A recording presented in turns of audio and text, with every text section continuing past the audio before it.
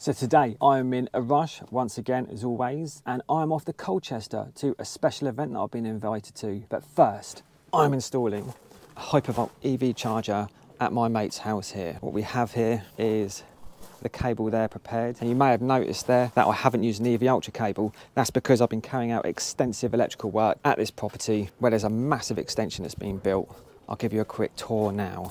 It's still well underway, but I didn't need the EV Ultra cable because I've just ran a twin and earth internally, so that's fine. So what we have, if I start in this kitchen, this is getting renovated and ripped out, so it's a bit of a mess, so ignore that.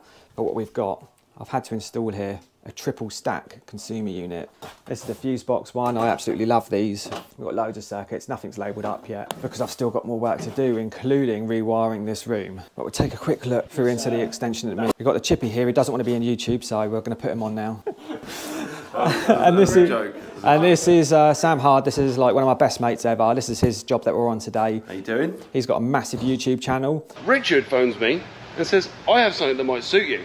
And he is taking the plunge, going to the dark side from being a massive petrol head to an EV lover. I got given an EV car in part exchange and my lovely lady fell in love with it. So I got a bit fed up of getting on my scooter, putting it in the boot, riding it to the local EV station, plugging it in, riding back, and, and where I live, I mean, you could die. So as Sam mentioned, he does live in like the roughest area in the world.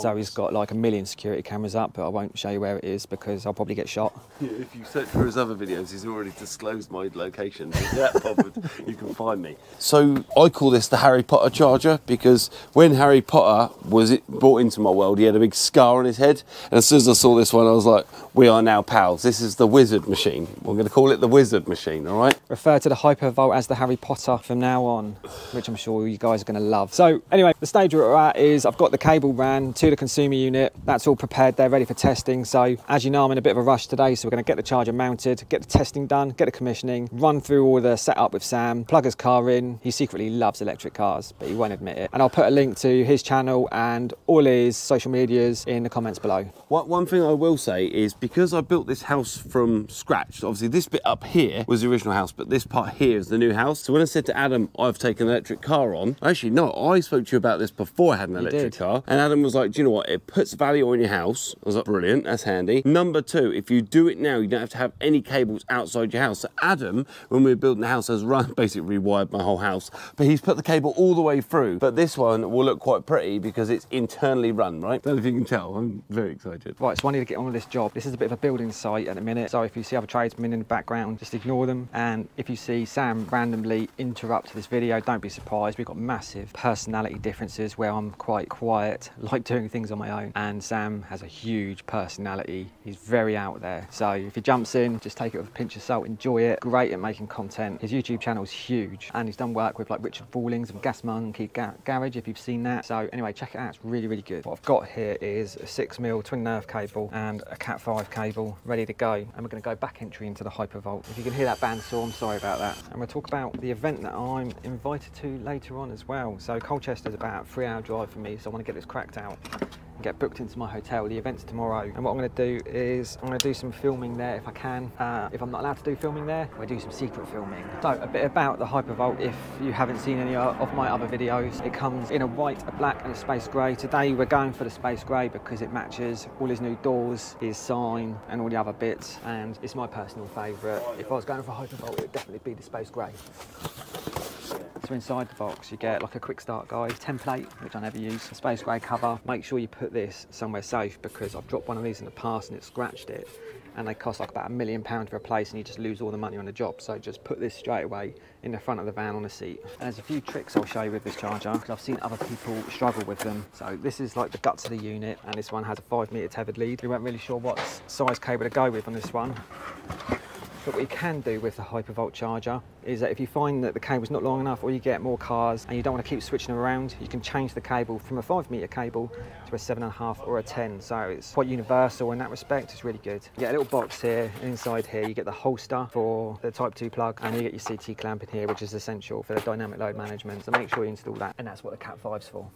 So with the older Hypervolts it used to be a bottom entry charger only But now you have the option to go back entry, which we'll do today. But something that you must remember is that with these chargers, it comes with a 25mm stuffing gland in the bottom ready for the bottom entry. And on the back there, you can see there's the, the knockout for the back entry. So if you use the back entry, you need to blank this off and I'll show you what I'm going to use for that in just a second. So first little tip for you is on the older Hypervolts, this was an absolute nightmare to remove, but now they've improved the design massively. And what you've got here is two clips here, and all you need to do is release those and the front cover will pop off. So I just pop them off, and there we go, job done. Put this in the van as well. You've got to look after the charger, make sure you don't scratch it. I've put chargers on just this before, it scratches them. Does it? Well, they're so like Obviously the group in front looks up. Like, So the first thing I'm going to do before I completely forget is remove the stuffing gland. And what I'm going to put in is a 25mm blank in the bottom there. And what that's going to do is just maintain that ingress protection. And you can reuse the lock ring off the stuffing gland. And it's nice and discreet, so when it charges on the wall, you won't see it either. And then I'm going to drill a 25mm hole in the back and I'm using these hole saws here and if I don't know if you've seen these before but they've got little springs in them and the idea of that is plastic or metal whatever that you drill it's supposed to just pop out on a spring it doesn't work it works like the first time and then after that you just got to do the old school stick a screwdriver in and get them out but there you go it's a nice idea but it doesn't work and just to show you there is the bit of plastic stuck in there I'll tell a lie it's fallen out it's actually worked I take that back and then get another 25mm stuffing gland, or use the other one that you took off the charger. And then put it in almost inside out, inside the charger. So you put this bit on the inside. That way you can still put the charger against the wall flat. And with the Hypervolt, it's really space conscious, if that's the right thing to say. So when you put the front cover on, there's still plenty of room to terminate your cable, even if you're using an SWA or a EV Ultra. So again, well done Hypervolt, good design. If I can get the lock ring on and then just make sure you nip it up. The other good thing with this location is there's a great big soffit and a little bit of a shelter above this charger. So if for any reason there was any sort of water coming down, there's a bit of shelter there to protect the charger. So we'll just nip this up. So now what I'm going to do is put the charger on the wall, mark all the holes we want for my fixings and get it fixed. This isn't going to take me too long at all, hopefully.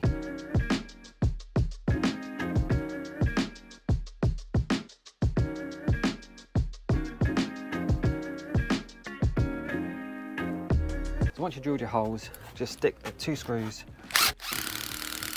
in the top and then what you can do is hang the Hypervolt, get the cable in place and then fix it from the bottom. And the other thing I like to do, which I nearly forgot, is just put some sealant around the cable entry hole, which just helps maintain that IP rating before you hang the charger. And then you can fix the bottom of the charger to the wall. And then once you've got it nice and level, just nip up the top screws. There we go, ready for termination and testing. So all I'm going to do now is strip back my twin and earth my Cat 5. And then I'm at a point ready for getting on with some dead testing and then my live testing. And then we get it fired up. Inside the consumer unit, I've got this protected on a double pole fuse box type A RCBO. And then what you have with the twin and earth is you have the blue and the brown, or the line and the neutral. They are stranded cables, so I'll ferrule those up. And the earthing conductor is the solid core, so we won't be putting a ferrule on that. I need to calm down a bit. I feel like I'm under pressure. That's because I've got a long drive. I really hate driving. So while I'm stripping this, I'll just tell you a little bit about Sam Hard. I've known Sam for about uh, probably about 20 years now. He's like in that handful of mates that you can absolutely rely on no matter what. If there's any problem, any time of the day, even if it was Christmas Day, if I had a problem, I know Sam would be there. Because of that, he is probably the only person that would carry out all this additional electrical work for. And we've literally re well, it's, it's basically a new build. The only rooms that are left is like an upstairs bedroom, toilet and the old kitchen which is getting ripped out so that's getting rewired so it's basically all brand new. And it looks fantastic. What I'm going to do again on this. Is just put a little bit of heat shrink on it just so I can keep the Cat 5 nice and tidy. I'm using the Makita heat gun today and there's a little curve attachment here. It's really good for applying heat shrink. I'm going to use the right cutters today just a pair of snips. Cut the bit I need. Slide it over. Hello, hello. Sexy banana. and then shrink it down. Pretty all the time, isn't it? Plaster's just turned up. He wants to be on YouTube, so we'll tag him in a minute, and I'll put a link to his new new YouTube channel that he is starting, and it's all about this incredible motorbike that he's building. I've probably said that wrong, but you're going to love it. So with that curve attachment, if you can see, it just makes sure I don't have to move the gun around too much. Get one. Heat gun. They're great. Is it a proper Makita one? Yeah. So you can see that's the heat shrunk, heat That comes off. shrink, And then put it down lovely. Tip of the day, don't try and take this attachment off after you just used it because you're going to burn your hand off. Inside this box you have your CT clamp which I'll show you how to connect up at the other end in just a minute. But also you get this little bag in here and that little green connector and that's what you connect the Cat 5 up to in this and plug it into the back of the charger which I'll show you now. So with this connector, all this does is just plug in there. ruining Adam's video. Sorry. So the CT clamp there is installed on this side of the Henley block. And uh, now we're ready for testing. So I'll get that done quickly and then I'll come back to you with the commissioning side of things and we'll run through that together. So I've got my dead testing done and that is super important when you're doing a job like this because it's a brand new install. And you've got to make sure you megger those cables because I've had boarders in after me, I've had kitchen fitters in after me and you need to make sure that that cable hasn't become damaged, no one's screwed for any cables. Fortunately, we're all good, so I'm just doing a live test, um, doing my ZS on this circuit, then I'll get it connected up, and then we'll test through the unit, and see what result we get. So we've got 0.41, that's absolutely acceptable, I'm more than happy with that. And then what I do is I just do my RCD test on this as well, because I just want to make sure that my RCBO operates in time before I connect it all up. We've got 28.2, that's fine, and I've got three more tests to do, but I won't bother filming that. So I need to terminate my cable now into the charger and what you get is with this quick start guide with the Hypervolt it's a bit of an installer's guide as well and it specifies that the cable terminations must be done up to 2 newton meters which is what I'm going to do now. It's really important to follow the manufacturer's instructions because it just maintains that warranty that you're going to be issuing your client with.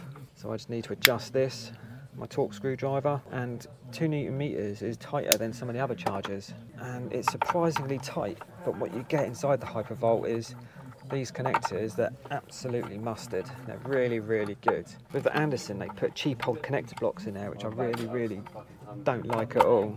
No, I mean it's a torquey screwdriver. Oh, is it? Yeah, that's what. Torque wrench and screwdriver. Yeah, so I've got to torque these up to 2 newton meters to maintain your warranty sound and make sure your product is installed correctly. You're amazing. Don't know if anyone's told you that today. As you know, I'm very fussy about these things. The beep. It's quite great. Clicks. It's all happening, Adam. It's all happening, mate. I'm gonna go get cleaned up, quick, ready Right for then. work. Sam's gonna have a shower. I'm gonna get my ass clean. My bottom clean for all you politically correct professional people. Sorry. Yeah, excuse his language. do apologise. I'm a good boy, really. You can find out on my channel at hardupgarage.com. Right, so we've got that torqued up. I'm going to put the front cover on now. What you also have in here is a little dial, and that is for the dynamic load management. And you can set this, um, and it varies on what your main cutout fuse is and the maximum demand that you've worked out on the property. So, you need to sort that out. This is all set up. So I'm at a stage now, I can stick that cover on. And what you have is a little connector here. I'll try and show you. And you have another cable here and this just plugs into this.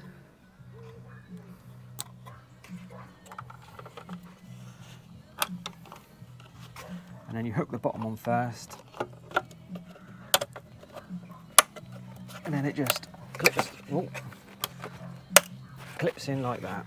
And you can see even with that 25mm stuffing gland, there's still plenty of room in here to work, so great. And next it's time to put the front cover on and that just slots on like that and then you have this little bag of screws and obviously the little security screws because they don't want to make it easy with Phillips so I just need to find the right bit for that and then there's two screws either side that you need to just nip up. And I've still got the wrong bit. Try again. When you're putting the cover on you need to just push against it a bit to find the screw holes. And then I put all four in before I nip them up. Blaster's having a nightmare. I should help him really but I'm not going to. Perfect So now what I like to do is call that cable round and mount that holster and get that in position first before I carry out my commissioning. Then I can just put away all my kit really, apart from the little skeleton kit. And then we are done. Okay, so I've got the holster mounted, chargers all set up, but I need to carry out my testing now through my EV adapter. Now what you have with these chargers is something called a random delay. And what that means is when you plug your car in, there'll be a random delay between one second and 10 minutes, I believe it is. That interferes with my testing. So what I've done is I have connected the Hypervolt to my phone, which means I can override that, which means I can get my testing done. I can tell it's connected because on the charger here we have a solid blue light around it. That means it's successfully connected to the internet. So I'll get all these tests done quickly and then we'll talk about what the Hypervolt can do and the app. Right, so what we have on this app, if I try and show you here, is if you go into settings and then you go into your Hypervolt, you have the random start there, we're going to turn that off. That means I can get my testing done. And what I do is I just use my iPad on Notability and take photos of all my test results and I have a record of everything. And now I'll get on with the RCD testing. That is the charger all tested and commissioned. The final thing that I like to do is just unroll the cable and then give it a wipe down and wipe down the unit. Just make sure everything's nice and clean. Just those finishing touches make all the difference. So wipe down the cable as you wind it up.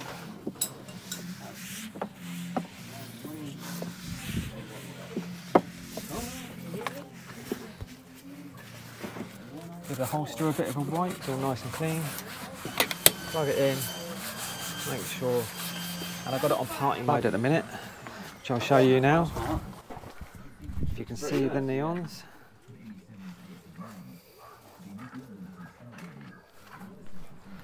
And then the last thing I'm going to do is just run through the app with Sam, make sure he knows how to use it all properly, and then we are off to Colchester.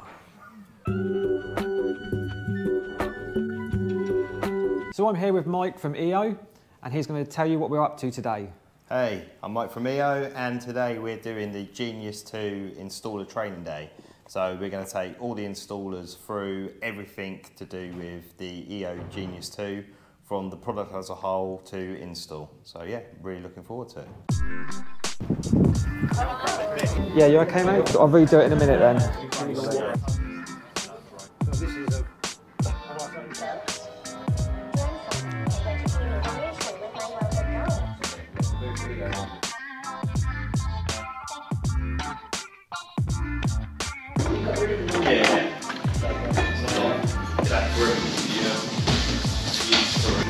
The inspiration.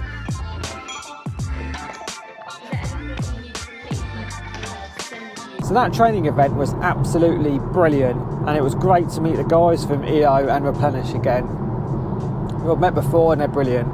I highly recommend attending any sort of training programs like that if you're looking at getting into EV charging or if you are into EV charging because it gives you an opportunity to get hands-on experience with the chargers, with the guys who work within the company and you can get all those questions answered that you may have.